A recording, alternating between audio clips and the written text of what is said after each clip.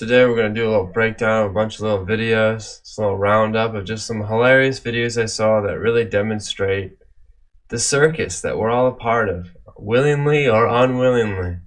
So first, let's just dive in. We got the C-SPAN footage of Biden touching young girls flagged as child sexual exploitation by Twitter. Users account locked, made to delete tweet. So if you haven't seen this video, it's a classic video. It's a little old. Just just watch these parents notice this is going on. Look at this guy especially. Stone faced while he knows what's happening. How creepy this is. Thank is. you. Thank you.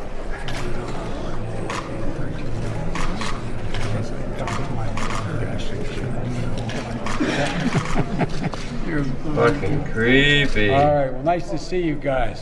Thank you. See you back home, I hope. And then it goes on. There's a whole there's a whole highlight reel of this stuff. But anyways, it gets posted. I tried to respond with a video of evidence of how Biden interacts with women and little girls, but Twitter flagged me for trying to post images of child molestation. I guess Twitter agrees with JV Grice. Yeah.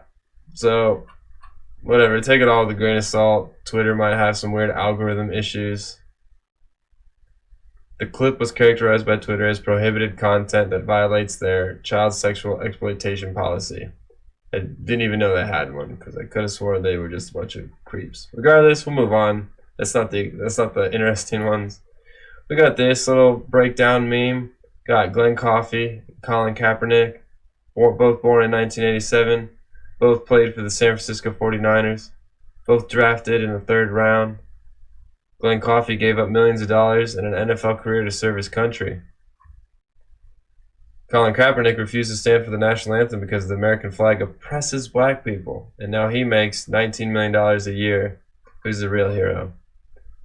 Now, another thing, too, is like, I don't know if you guys have seen, but they play something called the Black National Anthem now. Like, what is that? Like, the national anthem is the Black National Anthem. The national anthem is the national anthem for everyone. It's just, this guy sucks. Fuck you, Colin Kaepernick. But also, all their gear is made in sweatshops, concentration camps. Oh, if it's not made in Honduras, because this was uh, like 15 years ago, it's made by Uyghurs in China. You, there's so much evidence about all that stuff. Like Nike, the shoes are made by concentration camp workers. Where do these people get off acting like the high horse? Where do they get off acting like the moral high ground? It's so crazy. They want to spread and support BLM, fight against American slavery, while they are act- actively participating in modern slavery. Go fuck yourself, Nike. These articles are starting to sound less like thoughtful commentary and more like threats of violence. I noticed this too. Have you noticed this? Here's the Washington Post article. Perspective. The election will likely spark violence and a constitutional crisis. In every scenario, except the Biden landslide, our simulation ended catastrophically. What? In my new The Atlantic piece, The Atlantic, you must you probably know them from bringing up all that bullshit that supposedly Trump called American soldiers suckers. In my new The Atlantic piece, I argue that even strict law and order Republicans have an interest in Biden winning. If Biden loses, mass unrest is more likely because the left will have more difficulty accepting the results. It really does start to sound like a threat. And you remember Michelle Obama talking about her shit where she was like, you gotta vote for Biden like your life depends on it because it does. And it's like, whoa, whoa, whoa, whoa, chill, lady. Like, or dude, or whoever you are, Michael Obama, I don't know. That's a whole nother can of worms. But regardless, don't you don't, don't you think these are a bit much? Unless Biden wins, there's gonna be unrest. Like look at look at all these protests and riots and all the unrest that has existed. It hasn't been Trump supporters doing it. You can point to a few occasions where Trump supporters have done protests, but they weren't violent. They didn't burn buildings down. They didn't have a death toll. They didn't have a death toll larger than the amount of unarmed black men shot by police in 2018. 19. Alright, but let's get to the funny videos, because this is all just a lot of serious circus noise. Uh, Trump's going to win by a landslide, I believe. I, I don't even know if Biden will even be in the election. But after the debates, I think it'll be set in stone. Maybe maybe some crazy thing happens. Maybe aliens come down. They're like, "Hey, vote for Biden." Suddenly, everybody does. I don't know. I don't know what it could be. But regardless, let's move on to watch this highlight reel of just the most ridiculous things I've seen recently. So here is uh, Peace Horse. The this is the legend of the of the Peace Horse. He rides for peace. Oh shit! I forgot which one this one. This one's fucked up. Damn, just in the middle of the riot. Just oh shit. Well, this is the beginning of the legend of the Peace Horse. Because the Peace Horse keeps riding, if you notice. Where does the Peace Horse ride to? Oh shit. Look out, people. It, Peace Horse is coming. Look out, run. Oh shit, it's Peace Horse. Boom. Oh shit, fuck you. Damn. Damn. This is in the UK, I believe. Yeah, I'll tell you what, it's not going to happen in Texas. We know how to ride our fucking horses. Jesus. Damn, yeah, that lady with her, that sucks. Peace Horse maybe is kind of a douchebag. Damn. But maybe Peace Horse is like, alright, fuck this. Fuck London. I'm getting out of here.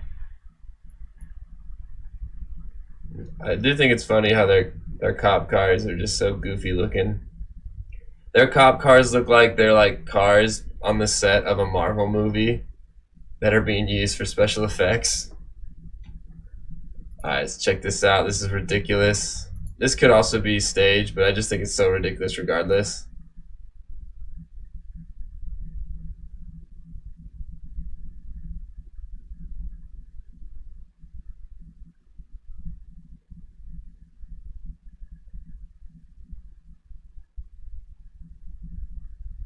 Yeah, just the way that it's like so perfect, it makes me think that it's staged.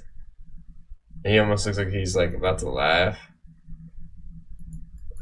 Like like that right there is just retarded. Plus the idea of these masks, like they're like wearing like two masks to be able to do this. It's just stupid.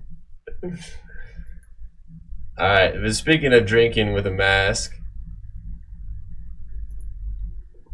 I'm going to drink your milkshake. Hey, whoa, what, what if you had COVID? Nazi lives don't matter. Damn, this queen. Yas, bitch, slay. Yeah. Lamau. That is the ultimate power move. Now, what, what I don't think is real, I don't think she's seen There Will Be Blood. I don't think it's her type of movie. That is just hilarious. I can't believe that. The balls, the cojones. Also, outdoor patios. What the fuck you guys doing? Outdoor patios are nice. When the weather is nice, and now I can't go to the outdoor patio to eat my food because a bunch of you douchebags are gonna come ruin my meal? Fuck you. Alright, then we're just gonna wrap it up. This is an old clip, but I just think this is so insane. And you can almost throw this in with all these other clips just because it's just it's just that preposterous. Oh wait, wait, we have another one. We have this one before we watch the final one. So this is what it's like to ride public transportation. If you've ever been to like Chicago and ridden some of this stuff, you'll have like people do these weird performing arts stuff.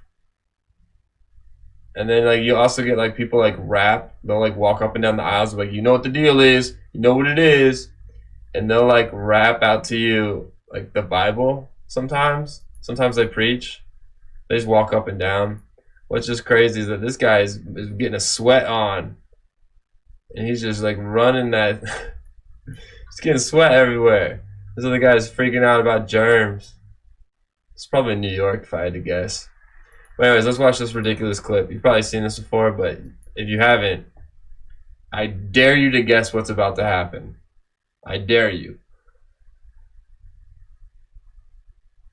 Damn, what? Did somebody just running drop kick Arnold Schwarzenegger? Did somebody just run up and just straight missile kick, flying missile kick him in the back.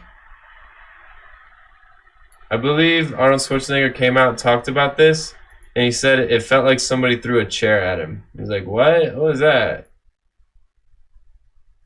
Oof. Yeah, what? And that big boy just grabs him. But what did this guy think he was doing? Did he really think that Arnold is actually the Terminator and that he would bounce off? I don't know. This I've never understood this. So what happened? Maybe I heard he was maybe mentally handicapped. But regardless, all right, that wraps up this. This was just supposed to be fun. Just a bunch of noise. If you support this kind of stupid noise type content where I find all this stupid noise and you can laugh at the noise, you can check out my description to support it. Uh, shout out to all my supporters. I'm very, very, very thankful. Like blows my mind the amount of support that you guys offer for this kind of stuff. But I think uh, people have different tastes. Some people like the crazy theories like mud flood. Some people like the news that's more Pizzagate related or like General Flynn related. Some people like just the crazy clown world in general, which we're all unwillingly attendees of. So I guess enjoy the show. Take everything you see with a grain of salt. Stay vigilant. Exercise. Eat right. Be a good person. Call your mom. Peace.